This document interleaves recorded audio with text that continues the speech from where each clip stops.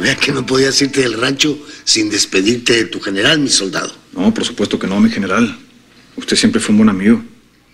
Y usted también. ¿Puedes llevar estas flores ahí a la mesa, por favor? Sí, claro que sí. Gracias. Quiero que sepas que no estoy de acuerdo con la decisión que tomaron de irse del rancho.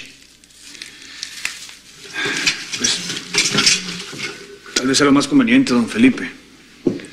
Quiero que sepa que a pesar de todo puede contar conmigo para lo que sea.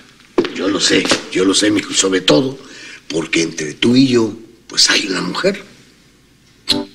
¿Una mujer? Claro, mi querida Lola, la trajiste. Sí, sí. Claro que sí, sería imposible olvidarme de ella. ¿Me quiere ahora?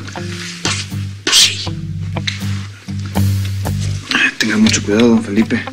Es una mujer peligrosa. Pues sí, pero necesario para enfrentar a mis enemigos en esta batalla.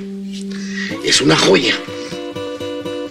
Pero, ¿sabes cuál es mi verdadero tesoro?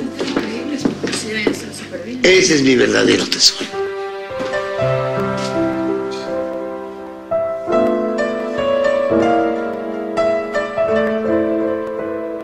Buenos días. Buenos días. Buenos días. Hola, abuelo.